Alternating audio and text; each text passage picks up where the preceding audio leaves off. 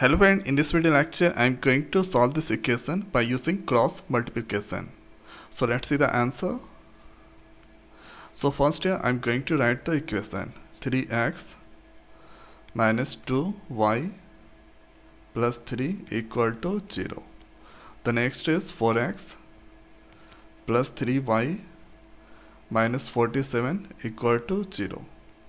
Now here we need to find the value of x so for this let's write x here and hide this x part.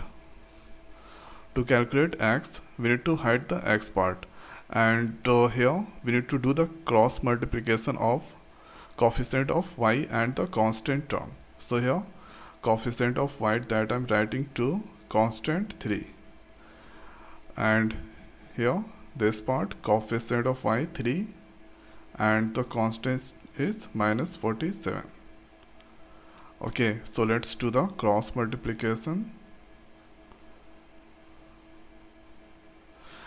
So here it come minus 2 into minus 47 thereafter write minus and uh, 3 into 3 thereafter write here y.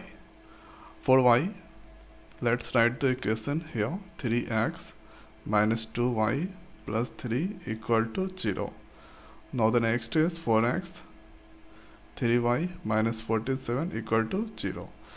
So here for y we need to hide the y term. So this is the y term hide. Okay after that here so y ahead there is the constant part.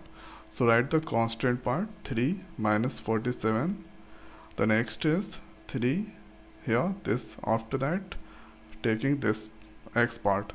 The coefficient, of x 3 and next is 4 do the cross multiplication. So here writing 3 into 4 minus 3 into minus 47 so this part y part has completed. Next is constant. So constant taken 1 so for constant let's write the equation here. Again 3x minus 2y plus 3 equal to 0 now the next is 4x plus 3y minus 47 equal to 0 so hide this constant part. Hide the constant part. So write the coefficient of x 3 and here 4 this is minus 2 plus 3 do the cross multiplication so cross multiplication this is here 3 into 3 minus so 4 into minus 2 after that you need to calculate this only. So here write x so 47 into 2 that is 94 minus minus that is plus.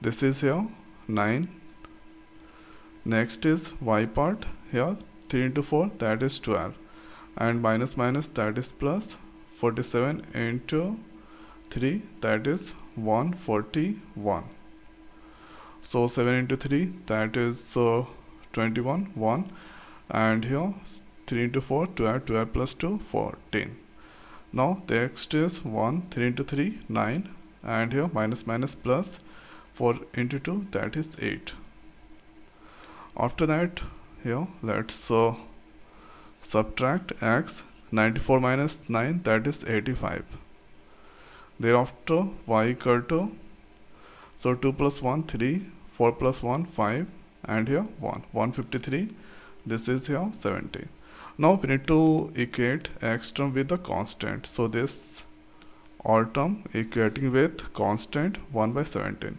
and this all term equating with 1 by 17 so here we can write x divided by 85 equal to 1 by 17.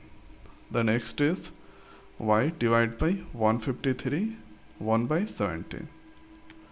After that uh, let's do the cross multiplication. So this is here 85 divided by 17. It cancels by 5 times. So x equal to 5. This is the answer.